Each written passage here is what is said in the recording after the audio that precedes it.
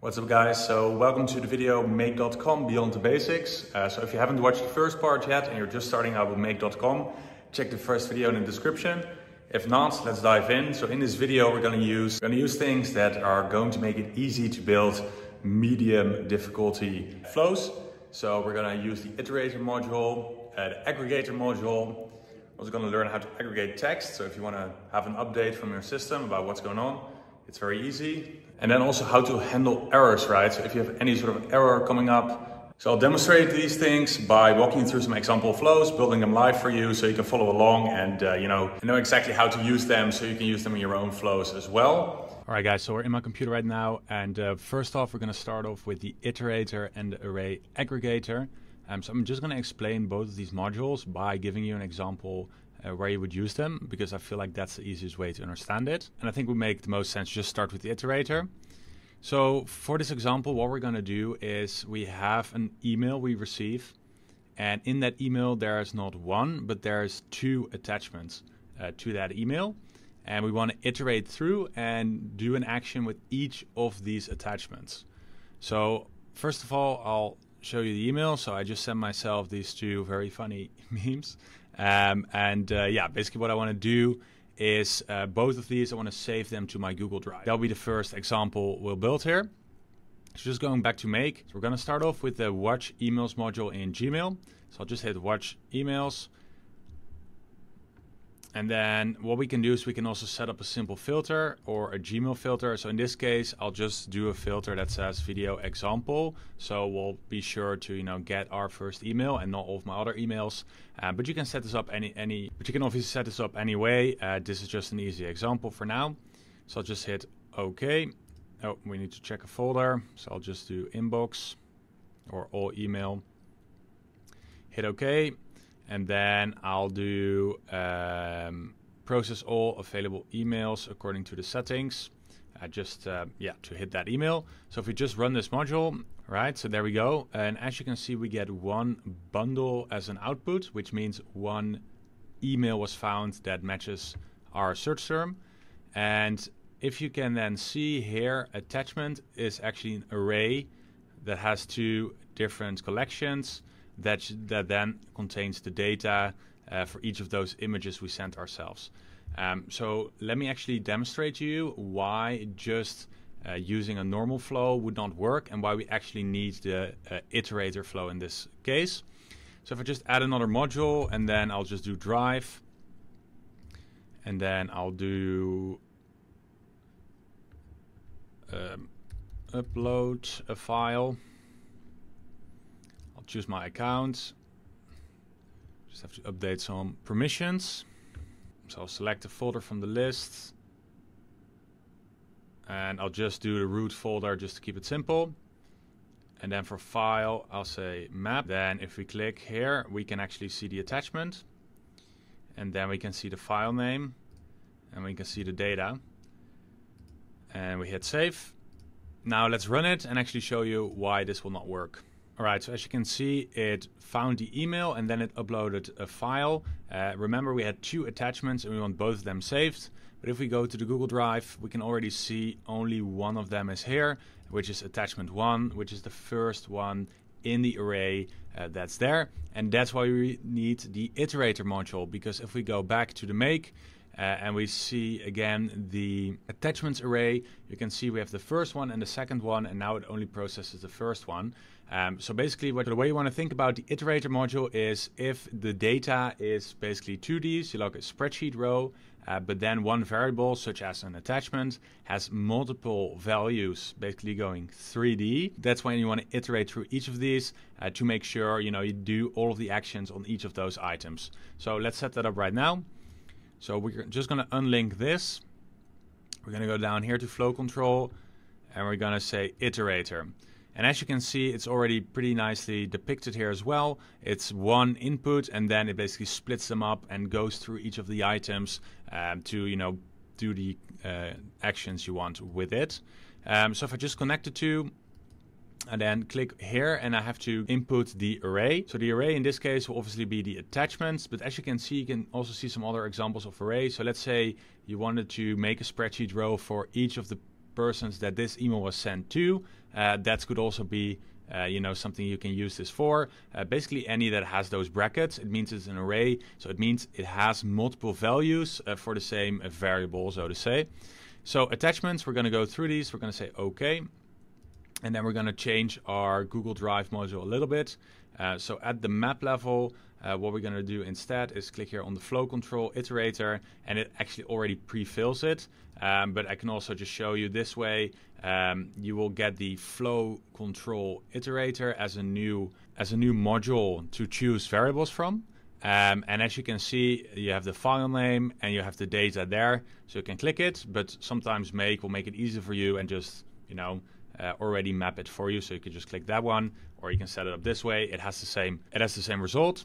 So let's just press OK, hit save, and then we're just gonna run it again. And as you can see, the main difference of what happened now is that we have one uh, operation being run here, then one operation being uh, put in here as an input, and then it's split up not in one, but in two operations in the upload file uh, module. So now the two files are uploaded separately, and if we go to the Google Drive, we can actually see now, if we just click this away, and we hit refresh, that attachment 1 is uploaded again, as well as attachment 2.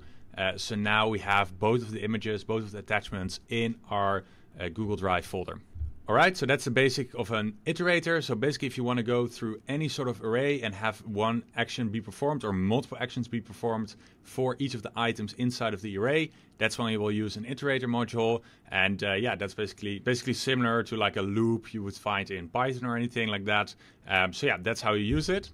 So what about the aggregator? What is that all about?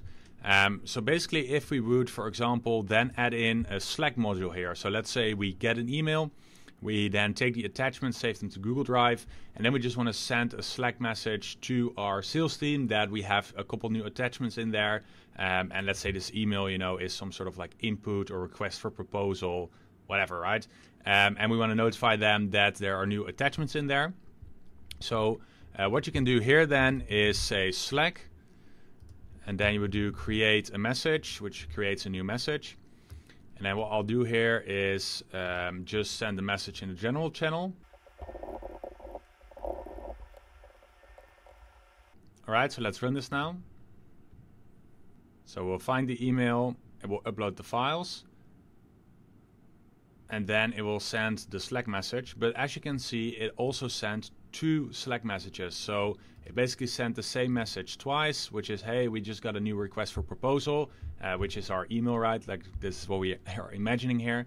Um, and attachments are in the Google Drive. Well, we obviously don't want that message to be sent for each and every attachment we get. Uh, just one will do because it's just that one email, so that one uh, prospective client. You know, we only want one notification from that and not multiple. But let's set up the aggregator module to fix this problem and, uh, you know, only send one Slack message to the sales team. So very simple. You just unlink this item. You go to flow control. You say array aggregator. You hook it up just hit the magic wand here. And then here you can say source module. It's basically where the iteration process that you then want to you know bundle back together starts. So in our case, that's at the iterator module. And then as you can see, if you also click OK here, it will then also nicely visualize it for you as this being kind of like a container, like a loop, and then it will only continue one time. Then in the aggregator module, we can also select what kind of fields uh, we want to aggregate and uh, you know get back. So let's say we do uh, Google Drive and then we do name, uh, which is like the file name we gave it, and then let's see what happens. And I'll add that actually to the Slack message as one of the output variables. So we just say it's called name, and then let's see what happens. Save, and then we say run once. So it finds the email, it then starts iterating through each of the attachments. It then connects the array together and then it sends just one Slack message to the team to notify them that the files are now inside of the Google Drive. And as you can see, it says we just got a new request for proposal. The attachments are in the Google Drive. It's called attachment1.png. But as you can see, there's a problem here because we have attachment 1, but we also have attachment 2. Uh, so it actually didn't do it exactly the way we want it. So this can work fine if we don't want to pass any variables from the loop uh, to the Slack, for example. But in this case, we could actually use another module, which is kind of next up, which is called the text aggregator. So let me switch the array aggregator to a text aggregator, and then I can show you uh, how to actually send the file names correctly to your Slack. Um, so you don't always use the text aggregator, only if you want an output variable. I have a couple of variants on this as well, which I'll show you in a bit. So just going back to the flow, I'm just going to delete the array aggregator. I'm going to unlink this. I'm going to go to tools. And then I'm going to choose the text aggregator. So it aggregates multiple strings into text. And as you can see, it looks familiar. So we can use the source module, which is the iterator. And the text we want to aggregate will be the name. And we can hit the advanced settings and we can have a row separator. So I just want them on a new row, but you can also have tabs or anything custom. So if you want to do like a CSV file from this, you can as well. Uh, so in our case, we're just going to do a new row. And you can actually group them by as well, uh, which is more of an advanced feature. I'm just going to hit OK. Hit save. And as you can see, this looks very familiar to what we did before with the normal array aggregator. It now kind of looks like one unit, uh, which it is, and it will function in the same way. We just have to change in the Slack what we want to be put here which will be the text variable, which is uh, the aggregated text we just created. Just to hit OK. To hit save. And then as you can see, it functions in the same way. So one bundle goes in, two of the attachments get uploaded to the Google Drive, then the text gets aggregated, and as you can see, the output from this is attachment 1, and then a new line, attachment 2. And then in the Slack, we send the message. The attachments are in a Google Drive. It's called attachment one and attachment two, and it did exactly as we wanted. So, so that's an example flow of where you use an iterator and then an aggregator, and then also the special aggregator, which is the text aggregator. And here under the tools section, you can actually also see uh, some of the other aggregations. So you can also do a table aggregation. So get all of the values you want inside of one table, which could be useful, obviously. And then also the numeric aggregator. Um, so if you want to do the same thing as the text, but with numbers, obviously that's a nice one as well. Uh, or in flow control, you can just do the normal aggregator if you don't want to have any sort of output variable come from that little piece, from that piece that is iterating over each other. Right now, so as an addition, I also want to talk a little bit about error handling. So whenever you use any sort of integration, APIs, webhooks, which is what we're doing here. It's only just has like a fancy skin around it, but we're basically coding and having all of these apps talk to each other. It's very likely that you're gonna have uh, some sort of errors once in a while.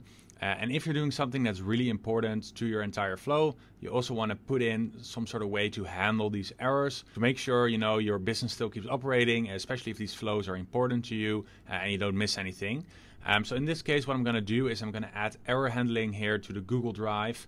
Uh, when we're uploading a file, let's say that throws an error for some reason, uh, that we're sure that it gets handled according to what we want uh, and it doesn't just get skipped over.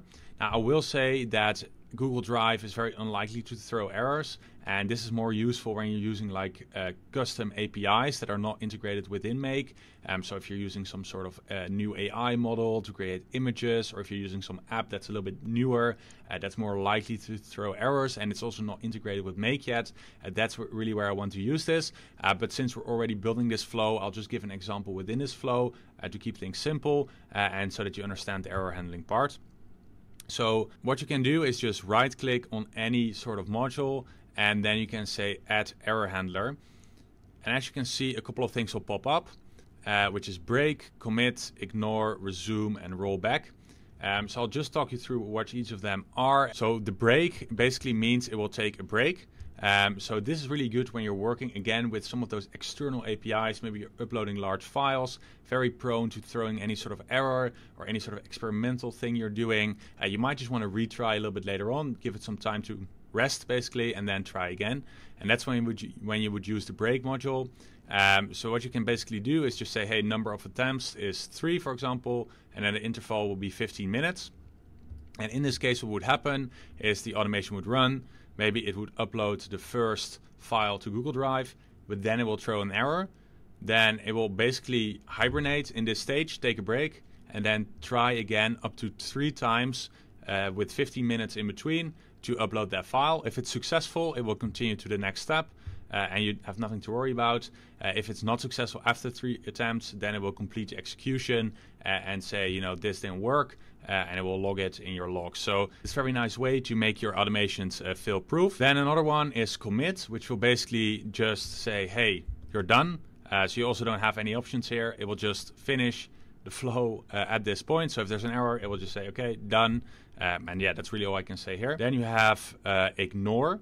So you could say ignore and commit are the same, but that's not true because commit, it means that it ends at the error. So it runs Gmail, it gets an error, and then it doesn't do anything else. So it doesn't send a Slack message. But with the ignore module, it will throw an error and then just continue the flow as if nothing happened. Uh, so, you know, this is in different use cases. You might want to just continue the flow um, and have everything happen as usual. If, if, it's not that important of a step, you can just skip it. Uh, to be honest, I would rarely use this one, um, but you know, there, there's probably some use case where you would use this, but I don't really think it's smart because those steps in the flow usually they build on top of each other. So it's very likely that if you get an error here, then the rest of your flow won't really make sense. Uh, but again, there might be some use cases where this is handy. All right, so then we have the resume handler, uh, which to be honest, I've never used myself. But what you can do here is you can set up kind of a default, default fallback information. Um, so let's say Google Drive throws an error. We can then change the output from this field uh, to a default. So as you can see, since I linked it together, it gives all of these fields which correspond uh, to the same fields that you have um, from this module as an output. Um, so we could just say like, hey, if this throws an error, we always just want to use this value and then just continue the flow. Um, so this can be useful.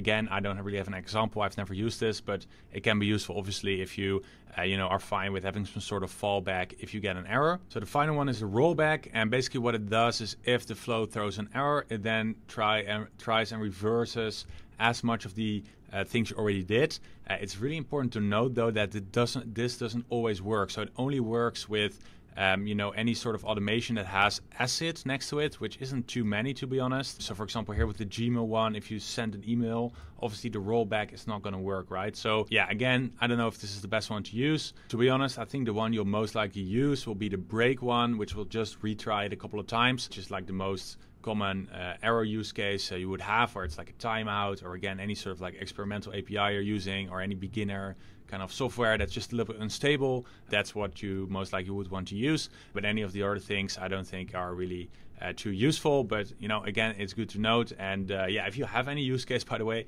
uh, make sure to comment down below. I'm uh, I'm curious to learn uh, where you're using some of these things for. All right, guys, just finished uh, editing this video, but I forgot to shoot an outro, so I'll just do it now while wearing these nice glasses. So now you know how to handle iterators and as well as the aggregator module and do error handling. So if you find this video helpful, make sure to like, comment, subscribe, as well as check out the links in the description below if you want more of my help. And I hope to see you all in the next one.